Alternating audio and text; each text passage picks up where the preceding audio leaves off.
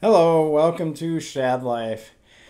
I'm going to start a new playlist category that isn't going to be necessarily related to biking. Although biking was such a huge part of my life, there's probably no way that I could have this category without talking about biking. Um, I talked to a lot of um, people about how BMX saved my life, and I truly believe that. Um, so, this particular section is going to be my journey. Um, and I'm pretty sure that's how I'll label it in, in the playlist. Um, and it's going to be about from when I was a kid and a series of videos um, about many different things that I've gone through in my life. Um, some of you probably know if you've been following my channel, I'm sober, been sober six and a half years. Um, but I also want to talk about the other side of that. Um, a lot of times people call uh, people like me double winners, right? Um, that's somebody who is an addict, and it's also somebody who has been affected by addicts. People that are affected by addicts um, are people who have had family members, uh, partners, spouses, whatever you want to refer to them as, um, or friends, friends, family, partners, whatever, that have had addiction and you've lived with them or had your life affected by their addiction. Um, the common term it, that's used is codependency. Um, and codependents tend to think that they can control other people's behaviors, control other people's situations um, to try to, you know, help them be sober or whatever. And they really sacrifice themselves for somebody else and things like that. That's basically what codependency is. High level definition, not super refined, just kind of what's popping off my head. Um, there'll be a lot more of that because my addiction side, A, I pretty much six and a half years ago just quit cold turkey because I just came to this moment through my own spiritual work and energy connection with the universe. I am not religious, but I definitely have some spiritual aspects of my life. Um, and that day where I quit, I just was like, why am I doing this? And I just quit drinking. And that was it. And yes, drinking was a problem in my life. But if I think of addiction and alcoholism and a scale, you have these people way over here who are just like, they, they start drinking, they can't stop.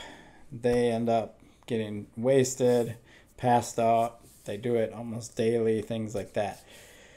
I was more in this gray area where I drank almost every day, but I had like a beer or two, or definitely not just one beer, like two, maybe three throughout an evening after work because it was what I used to relax, right? It was my way of, I just worked a really hard day. Now I'm going to come home and have a beer to, to relax, right? Um, I just got done with this big, long, gnarly bike ride, and all my buddies rode, and we're going to meet in the parking lot and have some beer, right? That kind of drinker. But I did it all the time, um, and it was not healthy for me, uh, neither mentally or physically. So I'm glad I quit and um, moved on from that where my life has been more affected is by other people's addiction in my life. Um, some family members, a good friend of mine, my childhood friend of mine, um, a past partner of mine, and things like that.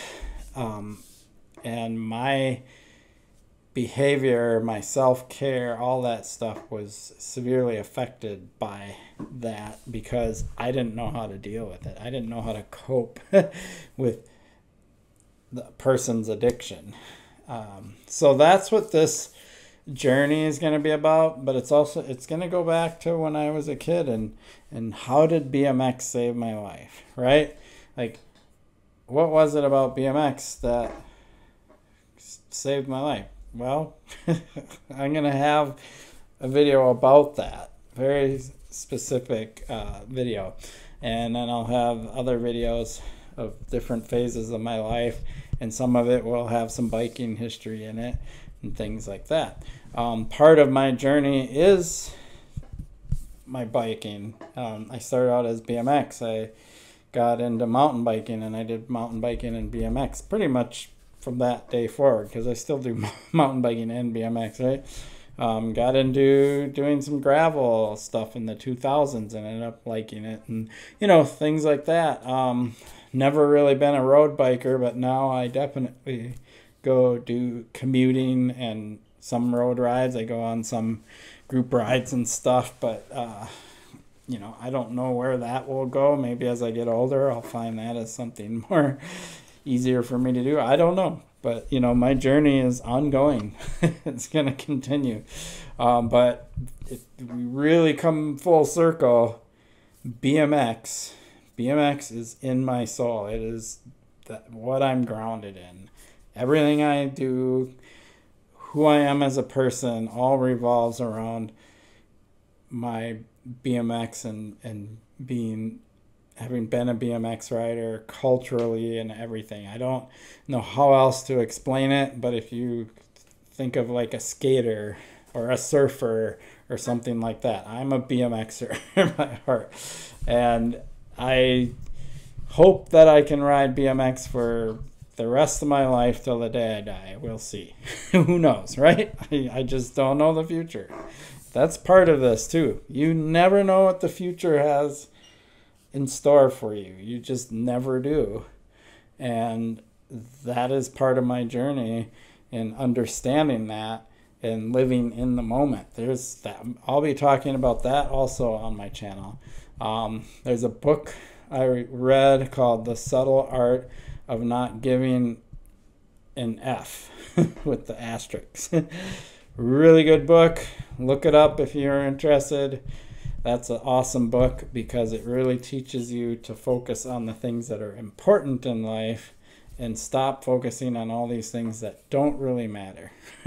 so, there you have it. Um, I really do appreciate your support on my channel. and this content is going to be an addition to all the biking stuff I do, and it will be very well labeled. So, if you're interested in it, great. If you're not, just ignore it and wait till bike content comes out. Sweet. Peace.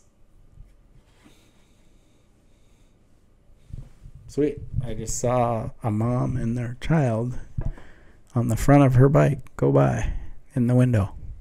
Bikes rule.